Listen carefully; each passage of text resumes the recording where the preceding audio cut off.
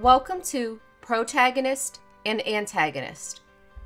The protagonist is frequently known as the hero of the story, while the antagonist is the villain.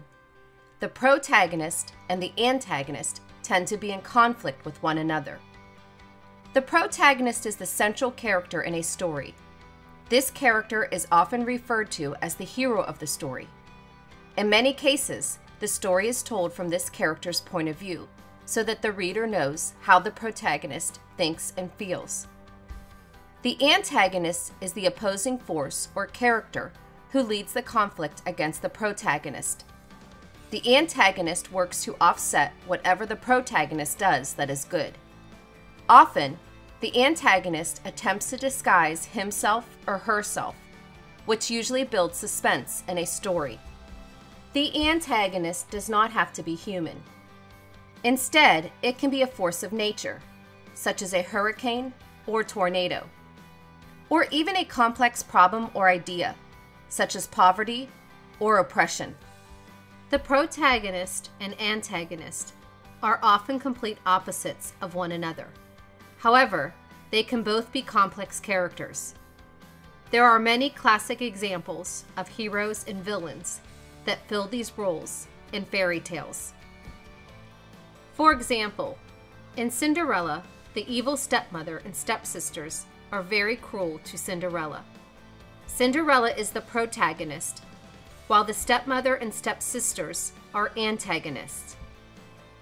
In Hansel and Gretel, there is a witch who resides in a home made of gingerbread and candies. She uses the sweets to lure Hansel and Gretel into her home so that she can eat the children. Hansel and Gretel are the protagonists, and the witch is the antagonist. In The Wizard of Oz, the Wicked Witch of the West is constantly causing conflict for the main character Dorothy. Dorothy is the protagonist of the tale, and the witch is the antagonist. In Jack and the Beanstalk, a young boy named Jack climbs a magic beanstalk into the sky and meets an angry giant. Jack is the protagonist, while the giant is the antagonist. Take a moment to read this section from a story and try to identify a protagonist and an antagonist. Keep in mind the traits of each character. Molly had been up all night practicing words for the spelling bee. She was still so nervous, even though she knew she was well prepared. When she bumped into Lindsay, however, she felt her stomach sink.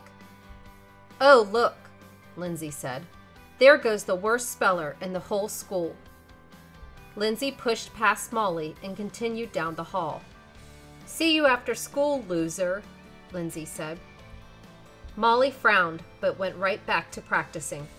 Who is the protagonist and who is the antagonist? In this paragraph, Molly is the protagonist. This section features her point of view, as the reader hears how she was up late and that she was nervous. It is also clear that she is the focus of the passage. The antagonist, therefore, is Lindsay. She is the opposing force to Molly and is clearly working to offset her.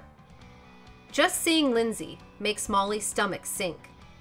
It is also clear that Lindsay is Molly's rival, as both are competing in the spelling bee. In review, when trying to identify the protagonist and antagonist in a story, think about which character is central to the plot. Who is the central character in the story? This is the protagonist. The character or force that is acting against this central character is the antagonist. The antagonist is the opposing force or character who leads the conflict against the protagonist. In most cases, the good character is the protagonist, and the bad character is the antagonist. Thank you for participating in Protagonist and Antagonist.